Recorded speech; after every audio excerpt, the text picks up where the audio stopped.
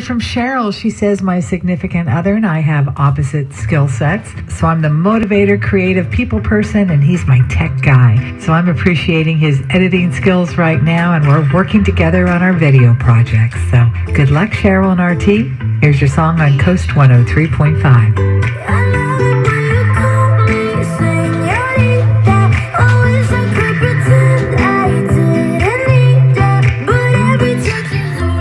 From Cheryl, she says, My significant other and I have opposite skill sets. So I'm the motivator, creative people person, and he's my tech guy. So I'm appreciating his editing skills right now, and we're working together on our video projects. So good luck, Cheryl and RT. Here's your song on KOST 103.5.